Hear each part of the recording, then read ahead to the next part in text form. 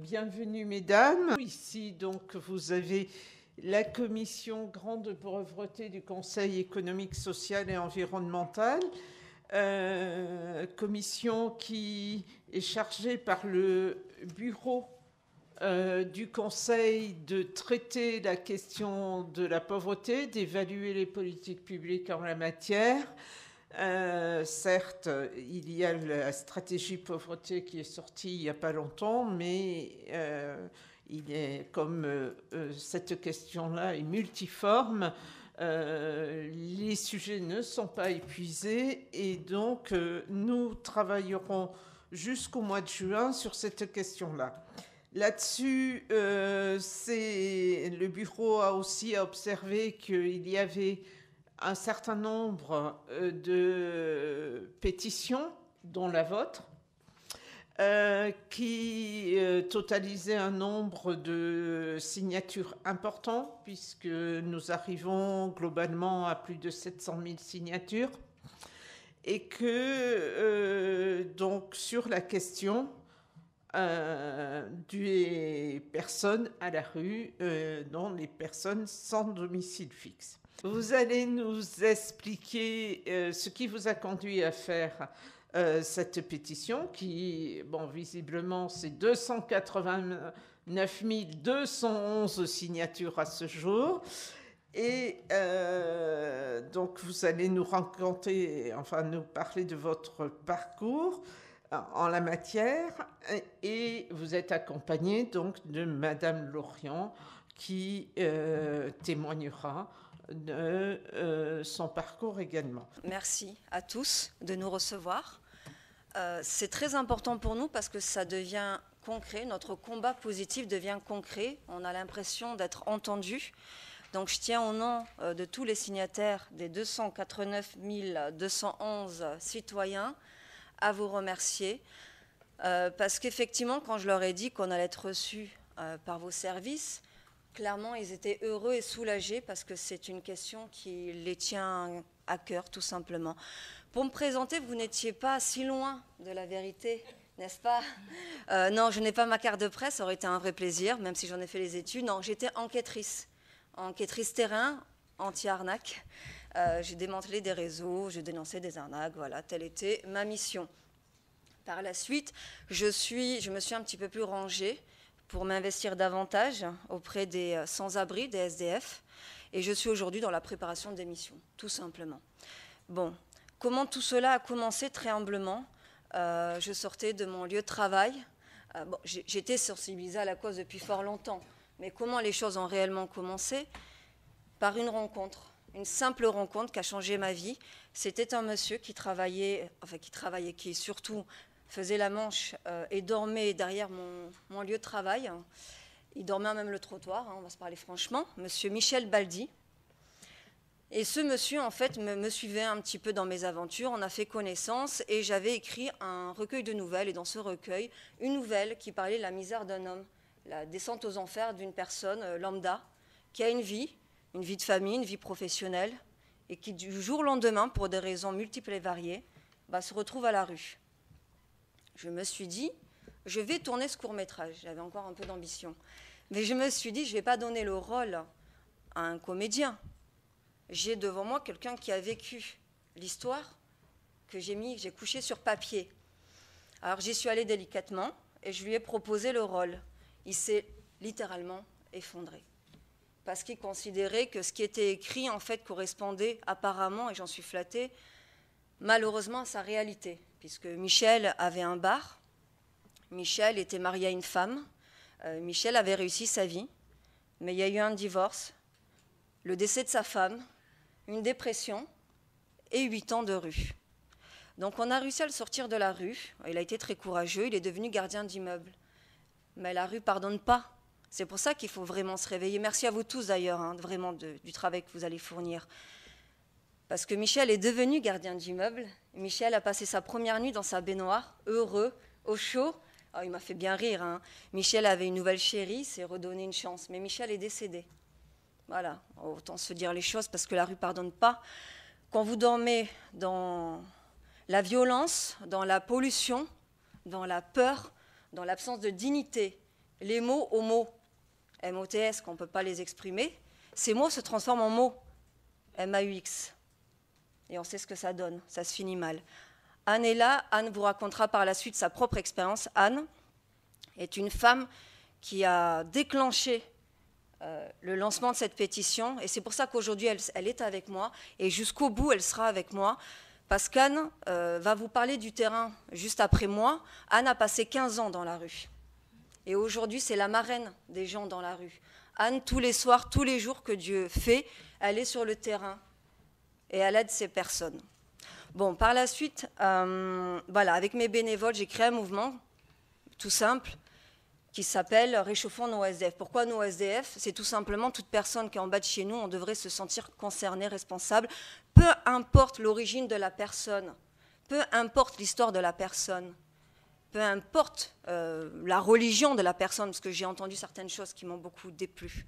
Il y a une histoire, il y a une chute, bah, à nous de les aider. Je veux dire, on est juste là, on peut descendre une bouteille d'eau. C'est la première cause de mortalité l'été, quand même, hein, l'absence d'eau. Euh, l'hiver, l'hiver approche. On a tous un dressing un peu fouillis avec une écharpe, des gants, des chaussettes, euh, un pull. Allons le laver, les laver et on peut les descendre à la personne qui est en bas de chez nous, d'où pourquoi nos SDF. Je voulais bien euh, signaler tout ça. Donc avec mes bénévoles, on a, lancé des maraudes.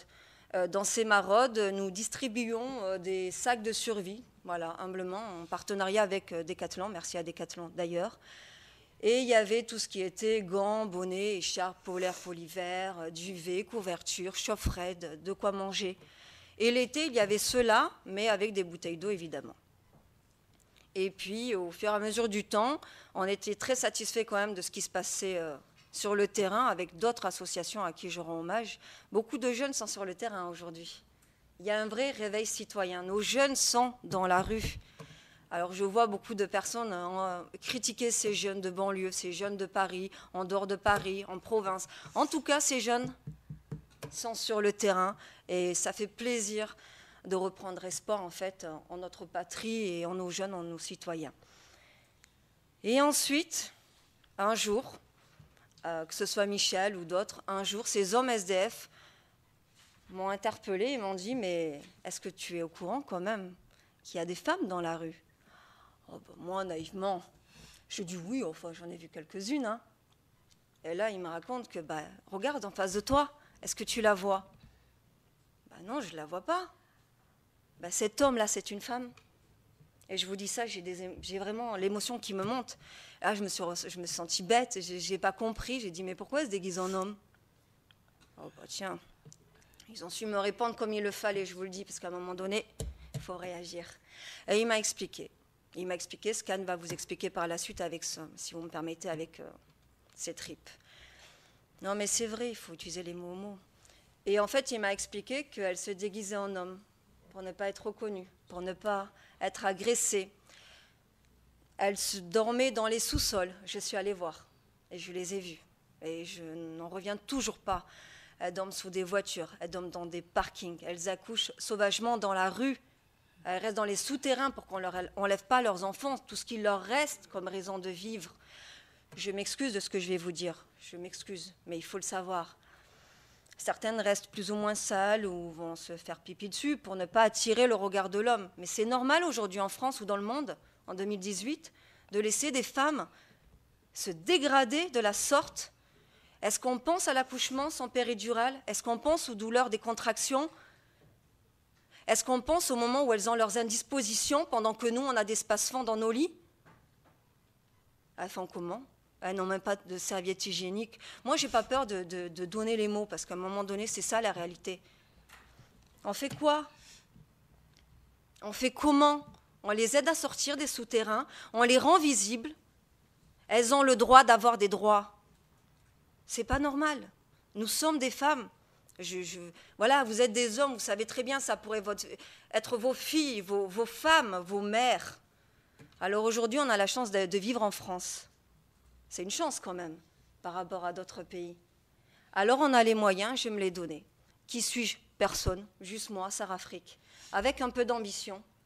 Je me dis qu'avec le cœur et, l'envie, on peut y arriver. Je ne m'attendais pas à ce que ma pétition prennent autant d'ampleur. Je me fais craquer. On, on va arriver aux 300 000. Et aux 300 000, je vous promets un événement. Alors toujours dans un bon état d'esprit, parce que le combat est positif. Moi, je ne manquerai de respect à personne. Je n'agresserai personne. Parce que je veux que ce soit avec le cœur. Je veux que les gens réalisent petit à petit, que les gens se réveillent. Je ne vous raconte pas une histoire, là. Je vous raconte ce qui se passe en dessous de nos rues. Alors, Madame Chiappa ou d'autres, je ne sais pas, enfin, à un moment donné, notre président, on a voté pour lui, c'est pas pour rien. Venez avec nous, s'il vous plaît, venez dans les sous-sols. Je ne vous raconte pas d'histoire. Et pour vous prouver que je ne raconte pas d'histoire, j'ai amené celle qui m'a inspiré tout ça. Parce qu'après tout, bah, je ne l'ai pas vécu, moi. Moi, c'est juste ces hommes SDF à qui je rends hommage. Et ouais, je suis émue parce que c'est énorme. Je leur rends hommage, c'est eux qui ont réveillé ma conscience de, voilà, de qui vivait sa vie comme euh, nous tous. À un moment donné, il faut se sentir concerné. Je veux dire, euh, on a les moyens d'y arriver. Et la preuve, vous nous recevez, donc c'est qu'on peut y arriver. Et tous ces gens-là sont avec nous. Et je peux vous promettre que la pétition va continuer de monter doucement, mais sûrement. Pour ma part, j'ai fini ma présentation. Si vous avez des questions pour tout à l'heure, je serai disposée à vous répondre. Mais je veux donner la parole à mon acolyte. C'est émouvant. Euh, donc voilà, donc je m'appelle Anne Lorient. J'ai vécu 17 euh, ans dans la rue. Je suis une, mère de rue. J'ai eu un enfant dans la rue.